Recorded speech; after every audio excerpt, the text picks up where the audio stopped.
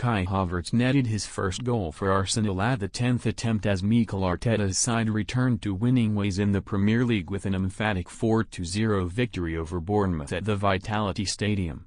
The £65 million arrival from Chelsea converted from the penalty spot after Bukayo Saka and Martin Odegaard made the net bulge in the first half, while Ben White also got in on the act late on to cap off the Gunners' best top-flight performance of the season so far. Prior to the trip south, Arteta poured doubt on the availability of Olive Saka, William Saliba and Declan Rice due to their various afflictions, but the Spaniards' pre-game comments proved to be just smoke and mirrors.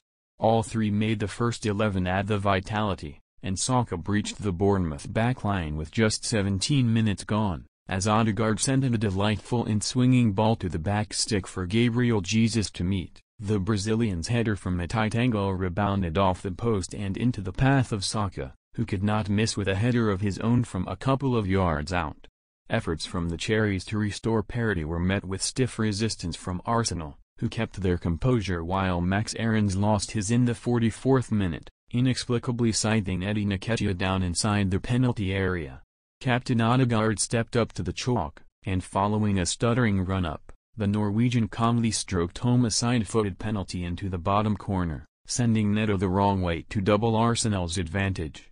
Neto's opposite number David Raya was a spectator for most of the first half, but the Brentford loanee was called into action in the fifth minute of second-half injury time, getting down low to keep out, and hold. Ryan Christie's shot across goal from inside the box. Possibly still frustrated from missing that opportunity right at the death in the first half, Christie then channeled his inner Aarons by giving away another penalty in the 52nd minute, inexcusably chopping down Odegaard. Saka would seemingly take on the responsibility, but the Englishman instead passed the ball over to Havertz, who went for the same corner as Odegaard and achieved the same result, opening his Arsenal account and ending a 20-game run without a goal at club level. Havertz was immediately mobbed by his teammates while being serenaded by the traveling Arsenal fans who were then subjected to the painful sight of Saka, who had been in the wars all afternoon, limping off the field heading into the final 15 minutes.